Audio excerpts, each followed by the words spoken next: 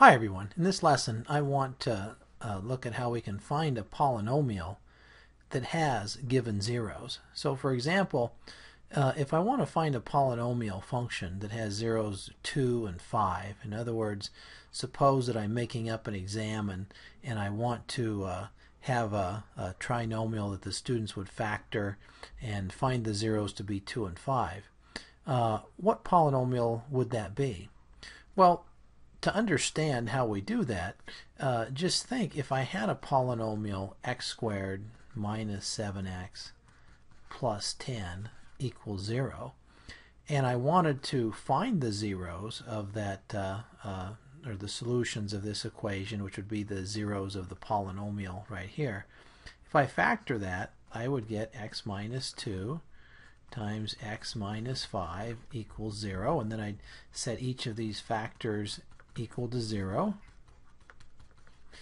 uh, because if I have two numbers multiplied together to give me 0, one of them has to be 0. And then I'd solve this, right? I get x equals 2 and x equals 5. Okay? So the way that I'm going to find a polynomial function that has these zeros is I'm, is I'm really going to do what I did here, but I'm just going to do it in reverse.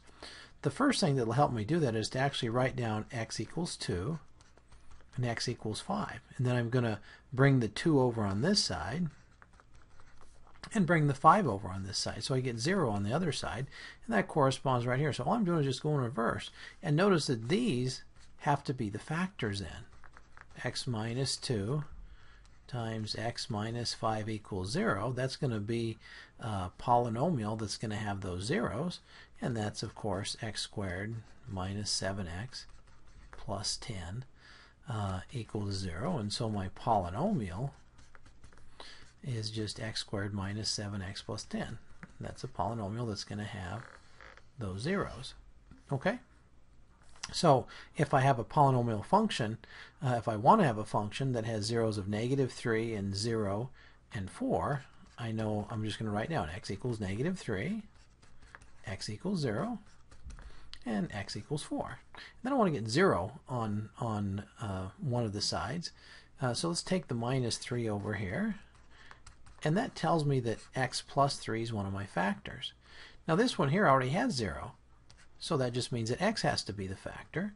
And if I bring the 4 over here, that means that x minus 4 is a factor. So I know my polynomial is going to have x as a factor and x plus 3 and x minus 4. Okay, and you'll notice I did put the x out front because that makes it easier to multiply. So let's multiply out the two binomials here. That would give me x squared when I do the first. Negative 4x and plus 3x is a negative x.